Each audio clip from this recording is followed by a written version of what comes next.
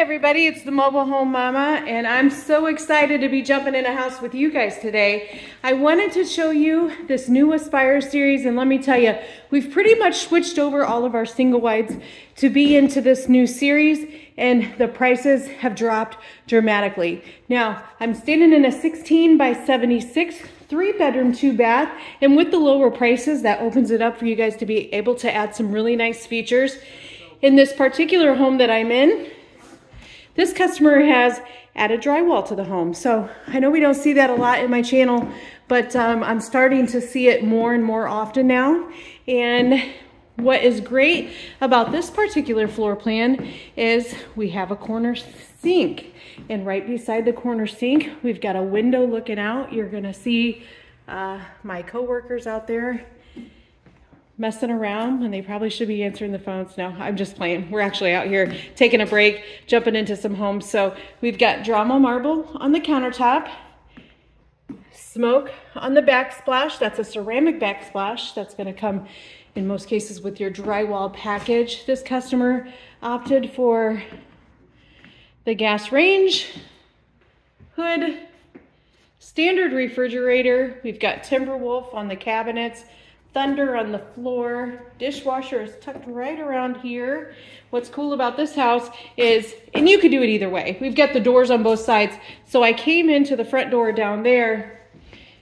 The back door is actually on the same side, but we do what is called a reverse aisle. So you could move this door to the other side of the home, which would flop this utility room all the way over. So everything would just kind of go like that. So that's how that goes. Coming back here into the master bedroom, we're gonna hit the water heater on the way.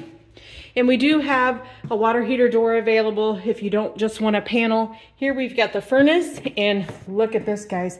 Look at this master bedroom. I would estimate this to be about a 14 by 15 in size master bedroom. Big 4661 window over there. And let's just take a look out the window. This is what you're gonna see if you come for a factory tour. I'm telling you, we've got homes everywhere. That's what we do. We're really good at it. Here's our master closet. Nice big walk-in closet for the ladies.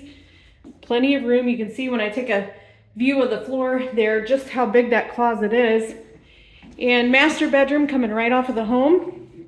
Here we've got an extended vanity. What I mean by that is we've got a bank of drawers with some extra spot here for curling irons, you know, all the things that would go on there. Commode. Flipping it around, we've got the tub shower combination. This is standard. You could add a garden tub or you could also do a walk-in shower. Heading back to the other end of the home, this is the longest and largest home that we make in a single wide version, 16 by 76. And right along the way here, we've got the first spare bedroom. Had some requests to make sure I get a view of the closet there. Coming into the second bath.